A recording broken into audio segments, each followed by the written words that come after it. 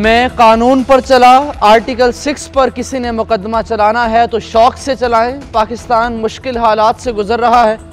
मीशत तीन साल से जवाल पजीर है। मुल्क में मुनाफिकत बढ़ी है। मैंडेट की कदर की जाए। सबक सदर आसिफ अली आरिफ अलवी की प्रेस कॉन्फ्रेंस कहा, बानी पीटीआई के मुकदमात का तेज़ी से ट्रायल हो तो वो जल्दी बरी हो जाएँगे। बानी पीटीआई के इस्टेब्लिशमेंट से ताल्लुक अच्छे कराने की कोशिश की। मेरी अभी भी कोशिश है कि सब जुड़ जाएँ।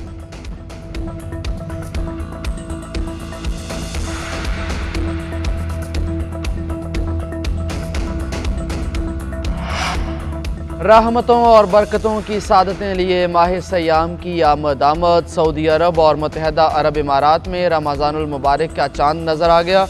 सऊदी सुप्रीम कोर्ट के ऐलान के मुताबिक कल बरोज़ सोमवार पहला रोज़ा होगा। दीगर खलीजी ममालिक में भी कल माह सयाम का पहला रोज़ा होगा।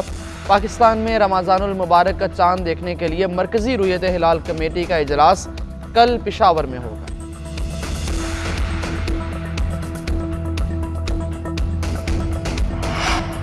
और बारिश बरसाने वाले सिस्टम की फिर बलूचिस्तान में एंट्री, कोयटा, गवादर, पशीन, तुरबत, पिसनी, पंजगोर और दीगर इलाकों में वक्फे वक्फे से बारिश। मूसलाधार बारिशों से रबता सड़कें एक बार फिर से बंद। पशीन में आसमानी बिजली गिरने से चचा, भतीजा जाम बहक।